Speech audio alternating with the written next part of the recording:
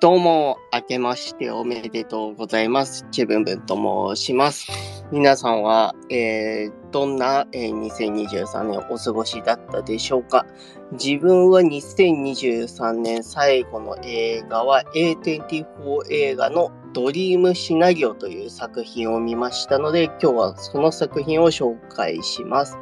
えードリームシナリオは監督がですね、シック・オブ・マイ・セルフのクリストファー・ボルグリ監督ですね。で、主演がニコラス・ケイジの作品となっております。どんなお話話かというと、端的に言えばみんなの夢の中にニコラス・ケイジが現れるという、そういったお話なんですよね。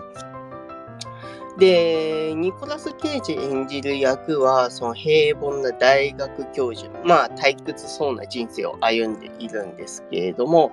えー、まあ、ある日、なんか娘が、そう、なんか夢の中に自分が出てきたよみたいなことを言うんですよね。あ、そうなんだ、みたいな感じで、えー、ふーみたいな感じなんですけれども、大学とか行くとみんななんかそわそわしてるんですよね。なんか、ひそひそ声で自分のことを見ているんですよね。で、だんだんとどうやら、その、いろんな人の夢の中に自分が出てきていることがわかるんですよ。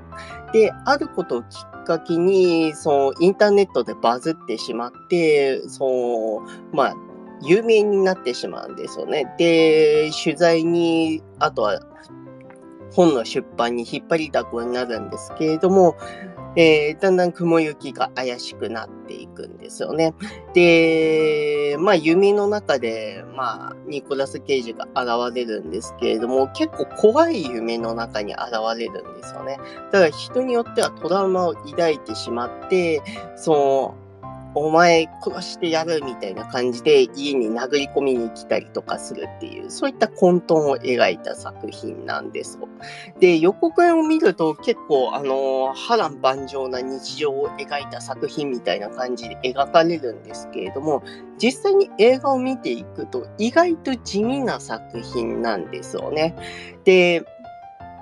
まあ、この地味さっていうのが評価の分かれ目になると思うんですけれども、自分は割とこれは、あの、面白い作りなんじゃないかなって思っていて、というのも、えっ、と、シック・オブ・マイ・セルフのその対になっている作品なんですよね。で、シック・オブ・マイ・セルフっていうのが、あのまあ、去年公開されて話題になりましたけれども、どういったお話かっていうと、その承認欲求の、承認欲求モンスターの女の人がだんだんと違法薬物に手を出して、その顔がぐちゃぐちゃになっていくんですよね。でも、その、あの、自分が注目されることを、えーまあ、第一に考えているんで、もう顔がぐちゃぐちゃに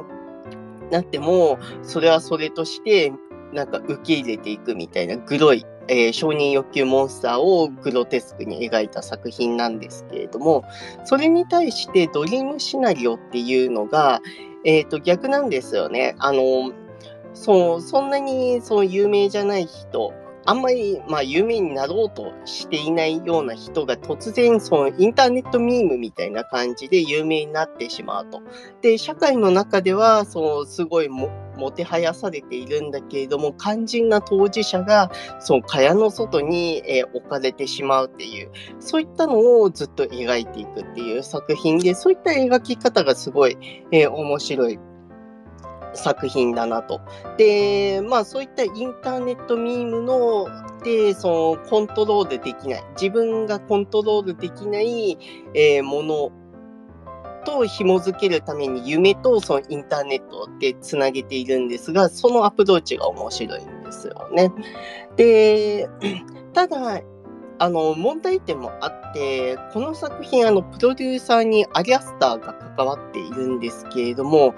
あの、アリアスター監督って、まあ結構、そのプロデューサーとして関わると自分色に染めてしまう傾向があって、それこそ、あの、狼の家の監督の作品の骨という短編があるんですけれども、あれも、まあ、アリアスター色だったりとか、まあ、某は恐れている、で、その、狼の家の監督起用して、あの、アニメーションパート手掛けさせているんですけれども、完全にそのアリアスターの不気味な色に染まっているんですよね。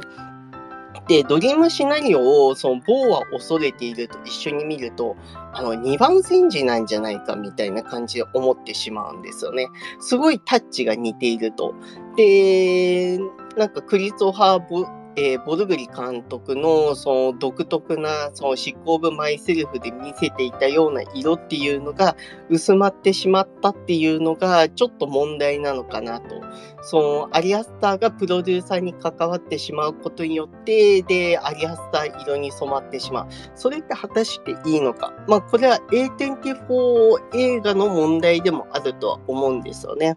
そう、A24 映画がなんか似たような作品を量産する中で、その作家としての個性っていうのがだんだん薄まってしまってしまうんじゃないかっていう危惧があるんですけれども、なんかその問題もこのドリームシナリオは抱えているっていう作品で、面白くはあるんだけれども、手放しに評価することができないという複雑な作品だったかなって思います。っていうわけで、あの2020 2024年もこんな感じで映画を紹介していこうかなと思います。えー、皆さんよろしくお願いします。それでは2024年、えー、良いお年を。